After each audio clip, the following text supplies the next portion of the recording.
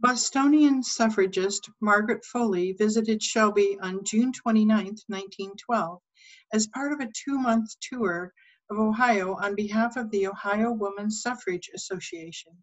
The notion of women casting a ballot had become more of a possibility, with six Western states already granting women the right to vote. In 1894, Ohio women were given school suffrage. They were able to run for school board positions and vote in school board elections. 1912 was the first time suffragists were able to bring their cause directly to Ohio voters. Margaret Foley was a single woman, an Irish Catholic, who hoped to become a singer. After graduating from high school in Boston, Foley began working in a union hat factory to support her aspiration.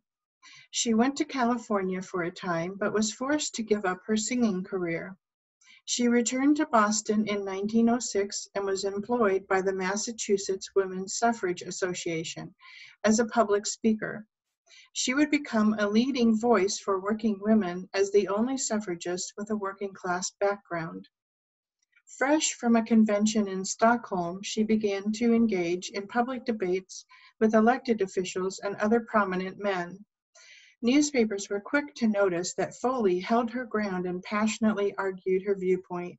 A reporter at the end of her Ohio tour remarked about the sunny good nature of Miss Foley, her Irish wit, and her pluck, which enabled her to gather and hold a crowd. Her appearances in Ohio, for the most part, were orchestrated by Harriet Taylor Upton, president of the Ohio Woman Suffrage Association. There were some notable speech makers who came to Shelby in the months before her, but they all spoke indoors at the Opera House. Foley had been trained in the ways of the English suffragettes and preferred to speak at outdoor venues.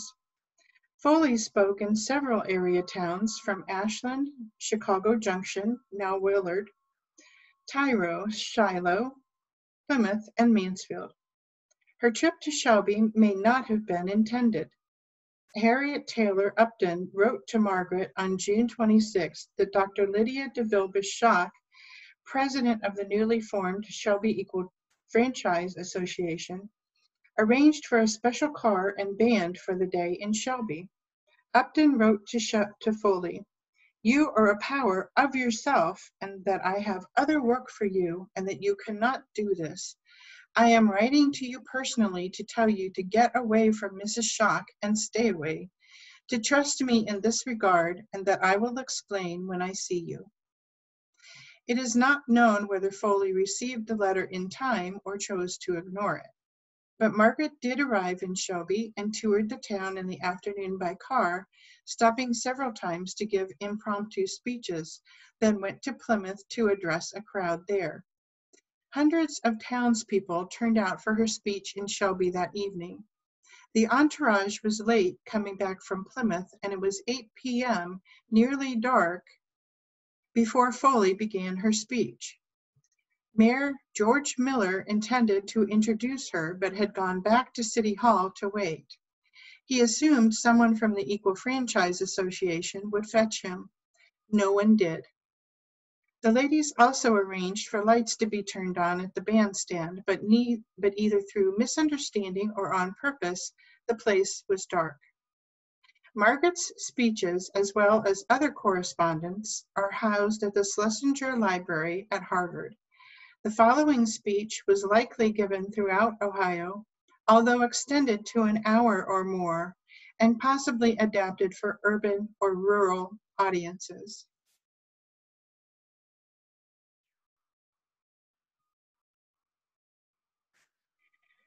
The movement of the world is away from all the customs and teachings of the early ages, and so the political status of woman cannot be an exception to the rule. In the early days, the family was self supporting and independent of the rest of the community. They raised all food necessary for the family on their little farm meats, vegetables, grains, milk, eggs, butter, cheese, all the home products. The mother knew that the food was pure, clean, and wholesome. and such as she could afford to give her children.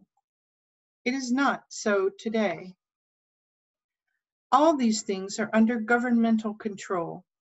Much of the food is unclean and unwholesome, and yet the mother is obliged to buy that food, taking risk of giving food that may bring sickness and disease to her family.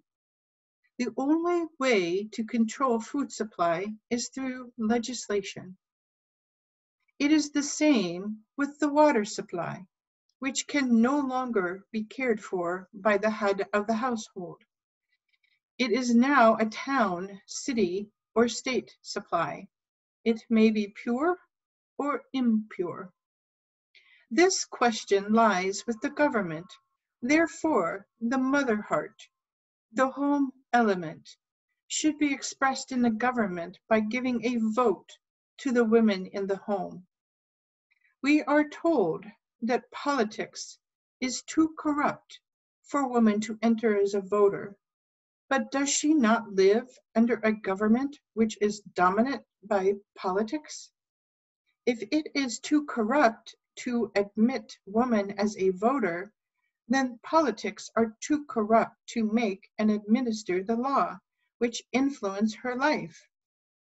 Laws are enacted requiring individuals to be clean and upright. And yet the source of all this lawmaking, namely the political world itself, is said to be unclean and unwholesome. If our government is built on moral law, it should be clean enough for women to have a voice in it. As there are no better house cleaners than women, we certainly need them in politics. There is no great cry on the part of men because of the contaminating influences which woman meets in the business and industrial world. They are not keeping her out of the various vocations of life because of the evils which she might encounter. Are not sweatshop conditions and overworked and underpaid evils far more destructive than the physical, mental, and moral welfare of women than any condition in which suffrage might place her. Through the great economic and political changes of the past century, the working woman of today is entitled to the same rights and privileges according the working man in the political world. These changes have taken her from the home and have brought her into the business and industrial life, where she has become more and more man's equal and competitor, leaving behind those conditions which so long made her dependent on him. This has not been of her own choosing. The invention of machinery by man has taken the work formerly done in the home, from the spinning and weaving even down to baking and laundry work, and masses it in great factories and shops. As a result, the homes of today and 100 years ago are very different. Instead of woman taking man's work, it is the reverse. He has appropriated to himself what was long supposed to be hers. When this is not the case, she must at least do it upon man-made plans. As this simply means that in developing this country, men have conscience, taken away from the home, its industrial life, and women find what was formerly a work of love is now done under new conditions and strange environments. It is strange that any thinking being should consider, in the general evolution and progress of the world, that women alone should stand still. Industrial and economic conditions today are such that however many of the 7 million working women in the United States wanted to stay home, they could not do so because they are compelled to support themselves and others. The wage earning girl or woman today has little chance beside her brother, except in the trade unions, although she performs the same amount of work. Yet she cannot command the same wages, largely because she is not a recognized citizen. Every year, conditions in the business and industrial world become more trying. Business methods, about which so much is said these days, mean more exacting requirements and greater complexity in all work. Woman is expected to meet all these demands and even to exceed men in matters of detail.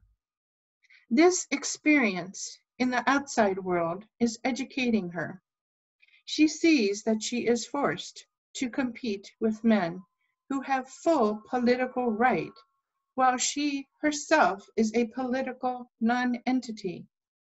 She often finds that she must protect herself against conditions which are more often political than economical, forcing upon her the conviction that she too is entitled to be a full-fledged voter. She sees that politics, business, and industrial life are interrelated, and that since she is a factor in two, she should be granted the right and privilege of the third. She sees that being a political non-entity, she is at a disadvantage as a breadwinner. Think of the number of wage earners in this country who are without political representation. The working woman needs the ballot because there are economic conditions which can be solved by the ballot only. At present, laws are made without the woman's viewpoint. We know that the ballot carries with it responsibilities we know that the person who is discriminated against by law is always the poorest paid. Therefore, woman's labor is cheap labor, and unjust discrimination against her as a wage earner will continue until she becomes man's equal politically. The great bodies of organized labor have for many years endangered woman suffrage and have declared that work should be paid for, not according to the sex of the worker, but the merits of the work. But the working man knows that this will not be so long as she is without power in politics. Therefore, Political enfranchisement is a matter of vital concern to the working woman. A government of the people, for the people, and by the people is only realized when every individual has equal share in administering such a government. When one, where one class governs without the consent of all, there is no true democracy. It is this that led our government to give the colored man political enfranchisement. The same conditions which freed the Negro have been freeing women. The modern movement demands direct influence for women upon the legislation, which concerns all people. It recognizes the vote as the only means of securing recognition of their needs. Two things are certain. First, woman suffrage is not a receding wave. It is a mighty incoming tide which is sweeping all before it. Second, no human power and no government can stay its coming. I trust that every man of Ohio will give the women of Ohio a square deal by voting for the equal suffrage amendment on September 3rd.